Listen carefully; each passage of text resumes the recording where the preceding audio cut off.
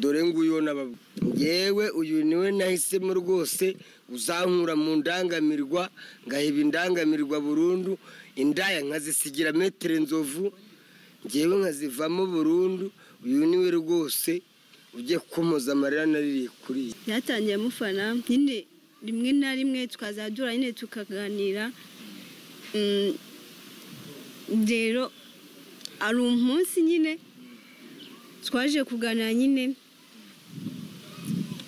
Asaba yuko twakundana. Nyine nanjye ndamwemera ko naramukundaga cyane asobanuye isi kuri azagenda yihana kandi nanjye nzagenda mbimufashamo. Izo ndaya ajyamo erega nta mugabo utajya mu ndaya nta mugabo udaheheta. Sibyo icya mbere ni uko mwizera kandi nawe akaba anyizera. Kandi tukaba dukundana bya nyabyo. We yari nabyakiye ntabwo byatuma umuntu atajya kwinyesebura ku ruhande. Icya mbere ni uko twizerana kandi dukundana bya nyabyo. Wenda ibyo by'inzoga n'indaya bizagenda bigabanuka gake. Ndakeka bizashira. Burundu burangiye impamvu nanajyaga no muri biriya ni ukubera kukubura ariko mu gihe undi hafi eh, igihe nkukeneye nkakubona abantu ibintu by'indaya rwose n'agacupa nzagenda ngabanya gake gake. Gusa agacupa ko ntabwo nakubwira ngo nzakavaho. Ariko icyerekeranye n'indaya. Bayi mwandangamirwa mu za sodoma mbo i remera za kosimosi ebana mbasezeyeho. Dore umwana rwose ubankijije nguyu. Reka nongere mbaye ikaze bakunzi ba home tv show mbese kugira ibihe byiza. Nshimira mwese ah, mwamaze gukora subscribe aho muri yose abaherereye mu majyepfo amajyaruguru iburasirazuba iburengerazuba mm, kigali. Tubaha ikaze abaherereye muri west africa east africa north south. Tubaha ikaze yewe n'abaherereye hanze y'u rwanda abaherereye muri amerika usa canada australia china india french ndetse n'abaherereye i burayi. Tubaha ikaze. By the way munyemeye mfate amasegonda abiri mubanze mukore uh, subscribe kugira ngo amakuru meza kandi agiye agezweho mujye muyasanga. Ahangaha nabwiye ngo o, mbageze amakuru atandukanye avuga mu myidagaduro mu rwanda mu mikino buni football ama interview. Ni ahangaha mubisanga. Gusa uwitwa yakamwana uh, arongeye akoze icyo bita mm, nakita nko gukora agashya kuko n'ubwa mbere yakamwana uh, ay- yongeye avuga ko afite umukunzi. Yerekanye umukunzi we ni ikiganiro yakoze. Ndavuga reka nzi nanjye mbahe apudeti mbagezeho aya makuru. Yakamwana n'ubwa mbere avuze ko o, asezeye ku ndaya. Ah, rwose ni umwana mwiza cyane umukobwa mm, yakamwana ah, yerekanye avuga ko ari umukunzi we. Ibi ngibi bibaye nyuma y'uko uwitwa yakamwana ah, yagiye yarafunzwe nyuma y'uko oh, yaragiye kumva urubanza rwa misi muheto arangije ateza akavuyo baramufunga gusa nta munsi umwe yamazemo kuko bahise bamufungura. Agifungurwa yakamwana ah, habaye space habaye space y'abagore fara mm, baramuhamagara baramuganiriza ikindi ni uko uwitwa yakamwana ubuzima bwe bugiye uh, guhinduka kuko nabonye abaherereye hanze y'u rwanda barimo godifada ndetse n'abandi uh, bavuga ko bagiye gufasha yaka uh, kuba bamwishyurira inzu kumuvuza ndetse n'ibindi. Ariko icyantunguye ni uburyo yakamwana yerekanye umukunzi we aho yivugiye ko amaze igihe kinini adafite umukunzi aho yavuze ko rwose ngo umukobwa mwiza nk'uriya mm, ngo amunyuze kandi rwose ngo yishimira kuba ari uh, mu buzima bwe. Yakamwana mm, yigeze gukundana n'umukobwa witwa keza ariko uh, byaje kumenya ko byari prank. Yakundanye na keza biravuga cyane gusa ariko uh, twaje gusanga ari prank bakinaga keza biza kurangira n'ubundi urukundo rwabo rurashinze kabiri ngo rumenyekane rugeraho rugera rugeraho rubageza. Byaje kurangira n'ubundi nyine uwitwa keza na yaka batandukanye. Gusa yakamwana kugeza maginga ya afite umukunzi rwose ni umwana mwiza cyane. Ubona ko ari kuri tayi ari kuri tayi ya kamwana rwose ari kuri tayi ya kamwana. Mbona ko bagenda baterana imitoma babwiza ati ndagukunda ati ndi ndagukunda. Ariko rimwe wese uwitwa yakamwana kuko yaba agiye kureka mm, imico mibi ah, y'ubusinzi ah, yo kujya mu ndaya yo kurara mu kabari. Ibi ngibi niba ari byo niba atari puranka niba atari puranka rwose yakamwana yabateye uh, yabateye intambwe nziza cyane. Kuko kugira umukunzi uh, nk'uyu nguyu um, mubona ku mashusho.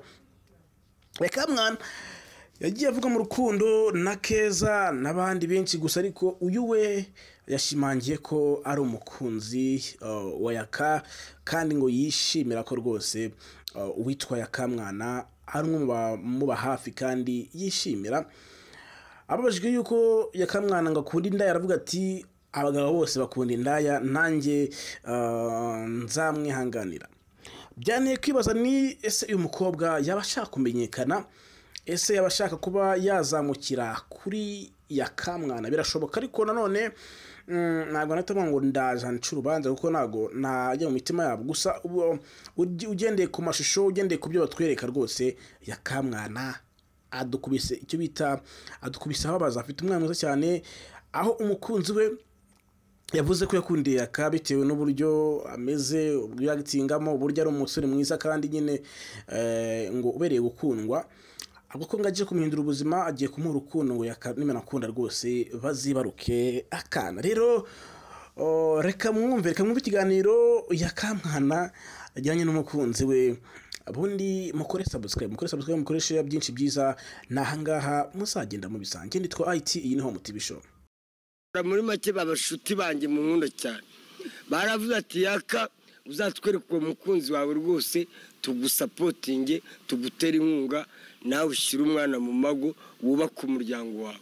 Dore nguyu nababwira yaka abantu bashobora kwibaza ngo yakarabeshye.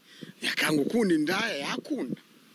Yewe uyu ni we nahisemo rwose uzankura mu ndangamirwa ngaheba indangamirwa burundu. Indaya nkazisigira metero nzovu ngewe nkazivamo burundu uyu ni we rwose ugiye kukomoza amarira naririye kuri iyi. Sisi uratangira utwibwira nitwa sandra. Yitwa sandara Eh, nande? Na- na- sandara ni sandirine dusubize sandine kuri wa wundi. Sandirine byari igihuha. Keza waya. Yari byari igihuha. Uyu we rwose. Uyu we uyu nguyu kabisa. Inshuti zanjye nshimira n'umuvandimwe wanjye uri mishigane eh, witwa umuntu Rwose na nimugoroba twabiganiyeho ndamubwira ati rwose nzamukwereka. Twavuganye kuri telefone y'umuvandimwe bita bete beto. Mm, bakinanaga football bakinaga mu kipe bitaga egrever from gihembe camp. Nshimira n'abakinnyi bose ba from gihembe Gihembe camp muri imahama. Yeah. tubasuhuze abantu bari i mahama na za mugera. Sisita bya- byaje eh, yaka yaka yaka yaka yaka. uragira ngo sisita kuko twa naze kuma ido nido byaje gute kugira ngo uhuze na yaka wumve ko mwakundana ubundi byatangiye mufana. Eh, byatangiye mufana. Nyine rimwe na rimwe tukazadura nyine tukaganira. Mm, rero hari umunsi nyine twaje kuganira nyine. Asaba yuko twakundana. Nyine nanjye ndamwemerera ko ndagukunda. naramukundaga i cyane love you so much. Asobanuye isi kuri njyewe. Buke? Asobanuye ibaze yaka. Asobanuye isi. Kuri we umuntu uzi ikinyarwanda neza yisobanurire. Njye- ubwo rero uwe ni ijuru kuri ngewe Mm, yaka. Ni ijuru kuri ya. Twajya tubona abakobwa benshi bakwiyitirira ngo muri mu rukundo. Sando tujya ngo tubwire njye kuguha mikoro uyifate numara gusobanura wenda urayinsubiza. Ibyaka byose urabizi. Inzoga indaya ubusinzi ibiki? Ibi byose uzabyakira ute? Ariko umuntu arihana na jackie yihannye yateye Okay. Ngo gutya? Ngo na gutya? jackie yihannye yaterewe yaterewe? Yumva ko ngewe nakwihana. Buriya wenda nawe aza- azagenda yihana kandi nanjye nzagenda mbimufashamo. Izo ndaya ajyamo erega nta mugabo utajya mu ndaya nta mugabo udaheheta. Sibyo? Icya mbere ni uko mwizera kandi nawe akaba anyizera. Kandi tukaba dukundana bya nyabyo. we yari nabyakiye ntabwo byatuma umuntu atajya kwinyesebura ku ruhande. Nyine icya mbere ni uko twizerana kandi dukundana bya nyabyo. Wenda ibyo by'inzoga n'indaya bizagenda bigabanuka gake. Ndakeka bizashira. Nta mugabo? Udaheheta bivuze ngo abagabo bose turi abashurashuzi mva. Sindimo. Oya nawe wasanga uri. Sheri ariko rero haba ako kantu uvanzemo utazagerageza ukanca inyuma we wahita utaha. Ngo? Utazagerageza ukanca inyuma buriya ndafuha we mukobwa mwiza. Shashiri ntabwo naguca inyuma subizi ko ngukunda basi uzankorera andi mafuti ariko kunca inyuma. Ni ukuri ntabwo naguca inyuma. Nanakwiyahura kubera wowe. Yego seriye ninya urupfu ariko najya no kwamakuza kubera wowe. Oya ntabwo naguca inyuma subizi ko ngukunda kandi nawe ndizera ko ibintu by'indaya ni- n'amayoga uzagenda ubigabanya bizashira. ndanabireka burundu. Burangiye impamvu nanajyaga no muri biriya ni ukubera kukubura ariko mu gihe undi hafi eh, igihe nkukeneye nkakubona nkabona ibintu by'indaya rwose. N'agacupa nzagenda ngabanya gake gake. Gusa agacupa ko ntabwo nakubwira ngo nzakavaho. Ariko icyerekeranye n'indaya.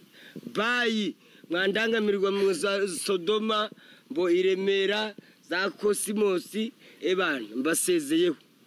Dore umwana rwose ubanyijije nguyu.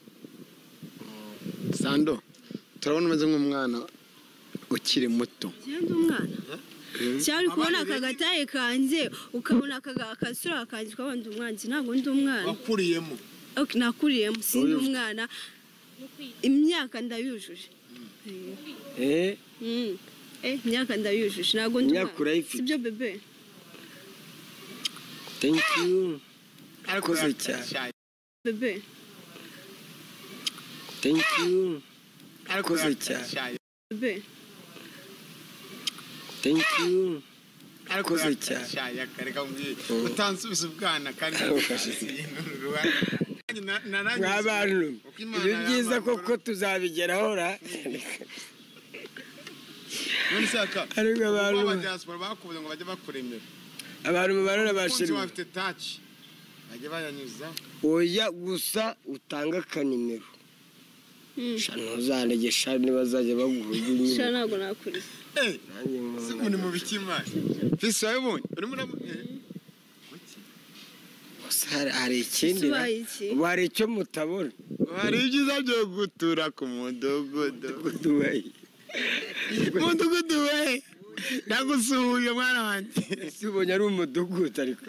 we hari ibyiza byo gutura ku mudugudu. Eee ariko biba bishatse kuvuga iki? Eh, ha- haba hari ibyiza byo gutura rumva muri karitsiye rumva iriho abantu hamwe ahantu hubatswe amazu runaka rumva y'abantu runaka yo kwaba hano hepfo mu cyaha hafi so babonye se ko nahari hano eh, za norvesian di bataba nahari twahita umudugudu. Umudugudu. Hari ibyiza byo gutura rero ahantu heza. Aha ni mu mudugudu noneho. Eh, ni ukuvuga ngo imana imfashije dosiye dosiye my case from from flying. Uyu mwana ni we twafata na rutema ikirere.